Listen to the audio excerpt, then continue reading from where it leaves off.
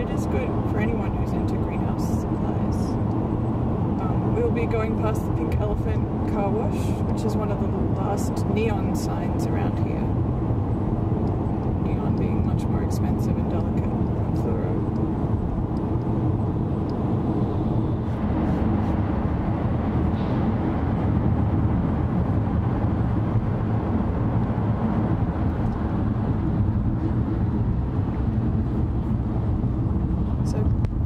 some nice views up here with the wheel. It's especially pretty at night.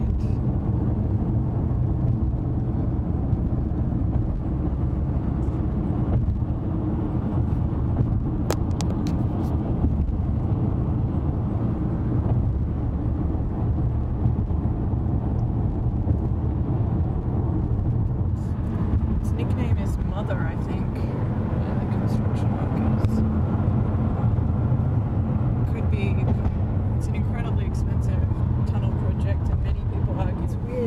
been in a car in this so many times.